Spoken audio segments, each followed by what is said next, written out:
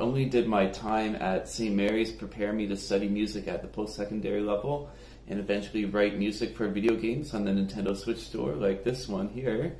Um, but also as an educator myself, I realized just how great the program was. Um, both Miss Pucha and Miss Claridge do so much, and they they take you on trips. They put on tons of concerts. They teach you valuable skills in music, and most of all, they create a great sense of community. You should definitely sign up for band.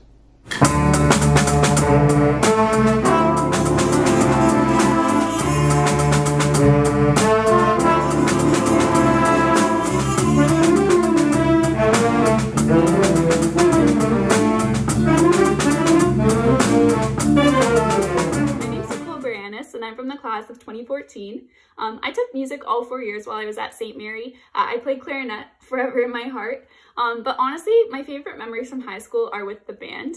Uh, I got to go to Chicago. We'd have concerts twice a year, which were so fun to prep for and be a part of. Um, Miss Claridge and Miss Pucha are amazing. They are the most supportive teachers that you can have. Uh, and, you know, some of my lasting friendships that I still have today, I found with the band. Um, so really, when you join music, you're making the decision to be part of something bigger that's going to stay with you long after high school.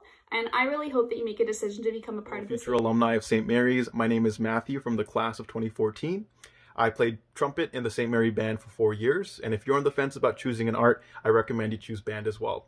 Uh, in the short term, I found that being in band was a great opportunity to learn a new skill, but it also gave you that feeling of community and an artistic outlet on campus. Uh, in the long term, I found that performing really gives you some boosts in uh, public speaking and presenting in front of a class and things like that, while also leaving you more open to learning other new skills and talents uh, as you grow up. If you're thinking about an art,